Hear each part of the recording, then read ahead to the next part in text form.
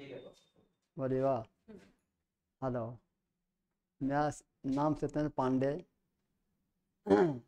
Village Pritampur post Tengra थाना वारुण जिला औरंगाबाद बिहार मैं बिहार का रहने वाला हूँ मैं मैं जब अपने लड़का को भेजा मैं पढ़ने के लिए तो मैं थोड़ा कम औकात का आदमी हूँ और कम पढ़ा लिखा भी मैं अपने जीवन में मैट्रिक पास हूँ थर्ड में से लेकिन मैं सपना बहुत आगे तक देखा था कि मेरा लड़का हमारे कम का पढ़े लिखे हैं, कम औकात पर नौकरी कर रहे हैं। मेरा सपना था कि मेरा लड़का बहुत आगे तक बढ़े। मैं कमे औकात से लगा के मैं पढ़ाने लगा। लेकिन मैं धीरे धीरे धीरे लड़का भी बहुत मेहनती है। मैं कम औकात से आगे बढ़ते बढ़ते तो लड़का बढ़ा के मैं पापा आगे तक यहाँ पढ़ने जा रहा हूँ। ठीक, कोई बात नहीं, जाइए पढ़ना तो जुगाड़ करके भेजूँगा। तो मैं कम नौकरी करने वालों को थोड़ा फ़ीस भरने के टाइम में तो ज़्यादा पैसा भरना पड़ेगा तो उसको मेहनत ज़्यादा पड़ेगा। मैं अपने सुपरवाइजर से, मेरे दोस्त मैं से मांग जाके मैं लड़का को मैंने फ़ीस मैंने भरने के लिए पैसा भेजता था। और लड़का मेरे को कहता कि, पापा, मैं जिस टाइम में पढ़ने आया हूँ, उस टाइम मेरे क्लास में छः सौ लेकर हैं। जब अंतिम होते होते हम लड़का बोला कि, पापा, हम लोग दस बच्चे हैं। कुछ हम मजबूरी से हट गए, कुछ नहीं, पढ़ने मन नहीं लगा। इस चलते तो मैं बहुत खुशी हूँ। उसके बाद लड़का चुन चुनाया मेरा दस लड़का मेरा चु- चुना गया। तो हमको बहुत खुशी हुआ कि लड़का में चुना गया। जब घर पर आया तो बीमार पड़ गया तो वहाँ ट्रेनिंग में नहीं जा सका जा सका। एक महीने के बाद फिर जा, गया, फिर जहाँ पढ़ता था, वहीं ट्रेनिंग छः महीना किया। उसके बाद फिर धीरे धीरे धीरे आगे बढ़ते बढ़ते बढ़ते। कहा कि मेरा पापा, मैं दो हज़ार उन्नीस में पढ़ाई पूरा हो जाऊँगा। तो मैं सोचा कि अब अब तो कोई बेटा मेरा पैसा कमाने सहा- सहायता करने लगेगा। तो अब हनुमान जी की कृपा है कि मेरा बेटा आज मेरे कोई फ़िक्र नहीं है। शादी भी हम किए बेटा के, उसे कोई मेरे फ़िक्र नहीं पड़ा। मैंने शादी किए, ब्याह किए। अब हमको कोई फ़िक्र नहीं है। कि हमें क्या करना है, क्या नहीं? मैं इतने कहा कि मैं वाणी को पूर्ण विराम दे रहा हूँ। कुछ बच्चा लोग पापा जी जो पढ़ने पे ध्यान नहीं देता है अच्छा। उन लोग को आप कुछ मैसेज दीजिएगा जो अपने माँ बाप को धोखा दे रहे हैं हाँ, पैसे हाँ। खर्च करके नहीं पढ़ रहे हैं उनके अच्छा। लिए कुछ मैसेज दीजिएगा। क्या मैसेज दें? उनको क्या कहें कि मैंने माँ बाप को पैसा बेकार खर्चा मत करिए पढ़ने में ध्यान दीजिए। मैं माँ बाप कहाँ से जुगाड़ करता है? माँ बाप ही खुद समझता है कि हाँ कहाँ से मेरा मेरा जुगाड़ कोई लड़का में आगे बढ़े आगे पढ़े। लेकिन लड़का लोग धोखा देते हैं। माँ बाप से पैसा ले लेते हैं, पढ़ने मन नहीं लगता, सिनेमा देखते हैं, दारू पीते हैं, चाय पीते हैं। लेकिन बाप माँ पर अब लोग जुगाड़ करके किसी देता है लेके बाप बच्चे को क्या क्या कहें बच्चे को? बच्चे जैसे हम वह बच्चे जैसे कोई बच्चा। बच्चे लोग मैंने किस्म के बच्चे लोग जो करते हैं सो करने, क्या करें? एक मिनट, पापा जी।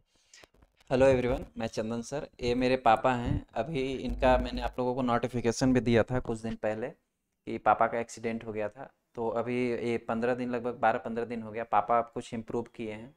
तो मैंने पापा को अपना ऑफ़िस दिखाने के लिए लाया था and he got add emotional about my success to to see my success कि मैं एक छोटे से कस्बे से, छोटे से गाँव से लेकर मेरे पापा ने इतना यू नो स्ट्रगल करके मुझे फ़ी दिया और फ़ी दे के मैं यहाँ तक पढ़ के आई also got add emotional about this session about after this moment कि और पापा की जो मैंने मुस्कान देखी जब फ़र्स्ट टाइम जैसे ही इंटर किए इस ऑफ़िस में तो जो उनके चेहरे पर स्माइल थी, वो देखकर यू नो मैं जीवन का सारा कमाई और सारा सुख भूल गया कि मैंने मैंने जो किया वो पापा इससे सेटिस्फाई हैं, पापा खुश हैं। मतलब उस समय हम लोग को फ़ी देने के लिए इतने क्राइसिस हो जाती थी कि पापा के पास पैसे नहीं हुआ करते थे तो अपने दोस्तों से पैसे लेके भेजा करते थे, लेकिन इनके दोस्त भी अच्छे थे। क्योंकि मेरे पापा का कोई गलत नेचर नहीं है, आदत नहीं है तो वे लोग बस पूछते थे, आपको पैसे कहाँ भेज रहे हैं? तो पापा बोलते थे कि, मेरा बेटा मेडिकल कॉलेज में पढ़ रहा है तो उसका फ़िक्र तो वो लोग और खुश होकर इनको पैसे के लिए हेल्प करते थे। फिर पापा ने सबको पैसे दे दिए। आज बेसिकली पापा ऑफ़िस आया तो मैंने सोचा, आप लोगों को एक बार ज़रूर मिलवाऊं। और पापा ने जो एक बहुत बड़ी बात कही है कि, मेरे पापा बहुत सेटिस्फाई है मेरे वर्क से और उन्होंने कभी मुझे रोका नहीं, कभी मुझे टोका नहीं किसी भी काम के लिए। जैसे मैंने पापा को बोला कि मुझे मेडिकल कॉलेज में जाने हमारी उतनी क्षमता नहीं थी कि हम लोग मेडिकल कॉलेज में बेसिकली पढ़ पाए। ये फ्रैंकली ऑनेस्टली मैं सारी सच बात हम लोग बताते हैं कैमरे के सामने क्योंकि आप सभी बच्चे मुझे रोल मॉडल मानते हैं। तो कहीं ना कहीं आप लोगों को ये बात समझना चाहिए कि एक पेरेंट्स को भी और एक बच्चे को भी। पापा ने लास्ट में एक बात बोला कि, किसी भी बच्चे को अपने माँ बाप कैसे देता है, पैसा वही जानता है। तो कभी भी उसका पैसे का मिस नहीं करो। पापा ने एक और बात कही कि मैं बहुत सेटिस्फाई हूँ, अपने बच्चों को रोका नहीं। औकात नहीं होने के बाद भी, क्षमता नहीं होने के बावजूद भी मेरे पापा ने कभी, जैसे ही मैंने बोला कि मुझे मेडिकल कॉलेज में एडमिशन लेना है इन्होंने कभी नहीं कहा कि हाँ मैं नहीं दूँगा पैसा, तुम मत लो। तुम करो, जहाँ से भी मैं करूँगा, मैं अरेंज करूँगा, ये मेरा डिपार्टमेंट है, वो मेरा रिस्पॉन्सिबिलिटी है। तो हर एक पेरेंट्स को भी ये बात समझना चाहिए। अपने बच्चे में अगर टैलेंट है तो रोकना नहीं चाहिए। आज देखिए कि अनएक्सपेक्टेड आज मैं लाखों बच्चों को पढ़ा रहा हूँ। अगर उस दिन मेरे पिताजी मुझे रोक दिए होते पढ़ने से तो क्या मैं आज आप लोगों को पढ़ा रहा होता? तो सोचिए, एक पेरेंट्स की कितनी बड़ी जिम्मेवारी होती है बच्चे को आगे बढ़ाने में। और एक बच्चे की भी रिस्पॉन्सिबिलिटी है कि अपने बच्चे को उसकी टैलेंट को पहचाने कभी उसको इनोवेट नहीं करे उसको जो कद्र है उसके टैलेंट की उसको दीजिए।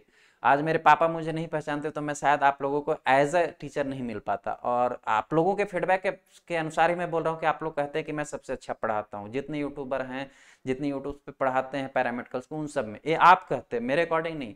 तो एक क्यों मिला है टीचर आपको? क्योंकि मेरे पापा ने मुझे समझा। और अब हम लोग धीरे धीरे ग्रोथ कर रहे हैं। धीरे धीरे आप लोग के लिए काम कर रहे हैं। धीरे धीरे कल जाके और भी बहुत बड़ा वर्क करेंगे जो आप लोगों के लिए, जो हमारे डिपार्टमेंट के लिए ईरा बनेगा, एक युग बनेगा, एक वरदान बनेगा। तो क्यों हुआ? Due to understanding power of my parents मेरे पापा मैट्रिक पास हैं। उस समय के। बट इन्होंने जो समझदारी रखी, वो शायद ग्रेजुएशन और पीजी और बड़े बड़े स्कॉलर से भी ज़्यादा इन्होंने अपनी अंडरस्टैंडिंग दिखाई मेरे सर्विस मेरे लाइफ को लेके, मेरे करियर को लेके। तो मैं ये कहूँगा, हर एक पेरेंट्स भी समझिए और बच्चे भी अपने पेरेंट्स की मजबूरी समझिए।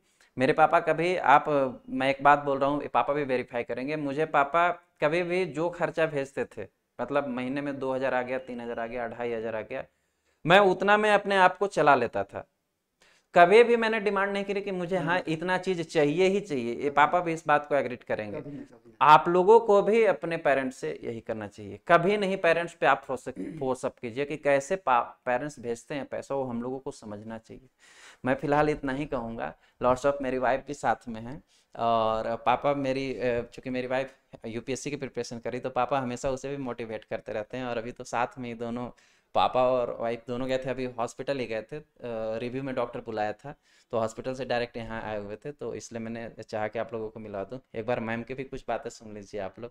थैंक यू हेलो बच्चों, आज हमारे पापा जी यहाँ पर हैं, बहुत खुशी हुई है क्योंकि इन्होंने जो हालात, जो सिचुएशन को देखा है और उसके बाद इनको यहाँ तक पहुँचाया है।